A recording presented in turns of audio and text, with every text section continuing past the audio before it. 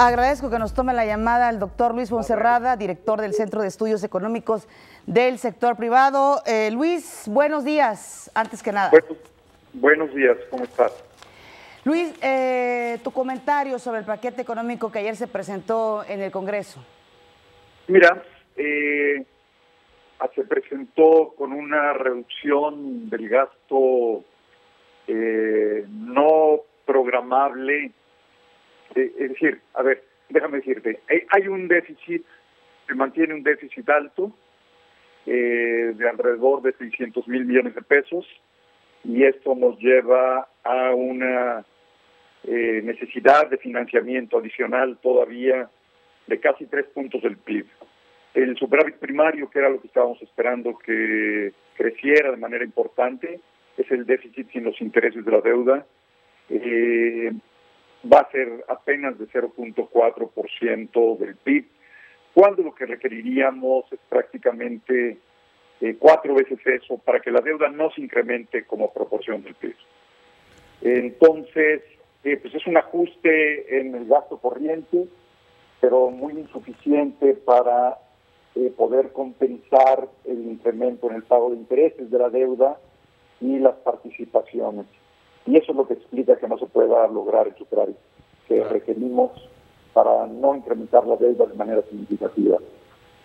Así es, Luis Fonserrada, muy buenos días. Te saluda con mucho gusto Mar Cepeda. Y en efecto, una de las medidas que se tomaron es hacer recortes en prácticamente todas las secretarías eh, pues del, del, Estado, obviamente unas más que otras, entre ellas pues la Secretaría de Educación Pública, entre ellas también Pemex se va a ver eh, afectada ante estos recortes.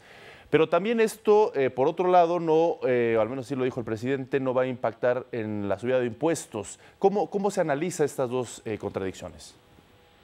Pues mira, eh, hay un incremento en la recaudación ligero, sí hay un incremento en la recaudación.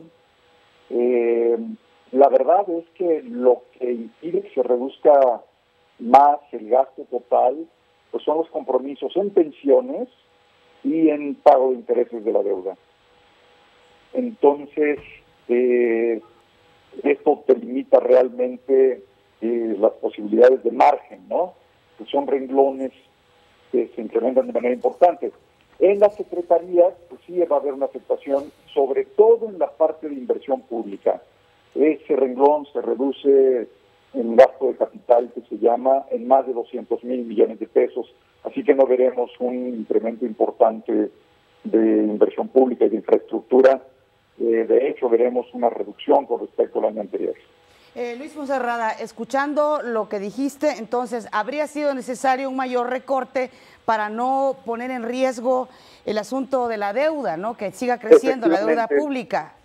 Efectivamente, requeriríamos haberlo incrementado eh, ese recorte probablemente en otro punto del PIB, en otros 200 mil millones de pesos, lo que evidentemente marca pues un, un ajuste muy fuerte. Eh, no se dio, eh, esperemos que en el Congreso se lleve a cabo algún ajuste adicional.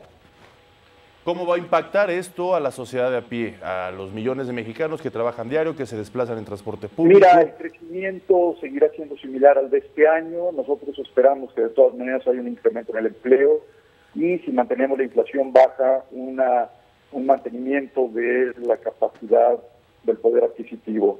Así que en principio el gasto público no debería estarnos impactando. Correcto, Luis Fonserrada. Sí, perdón, perdón, concluye. Sí, sí, sí. Eh, solamente dar las gracias por la participación y estaremos en contacto. Así es, Luis. Siempre tu participación es muy importante para nosotros por tu análisis y profundidad de los temas, estos temas tan complejos, pero siempre importantes para toda la sociedad mexicana. Gracias por estar con nosotros en México al Día. Al contrario, buenos días. Un fuerte abrazo.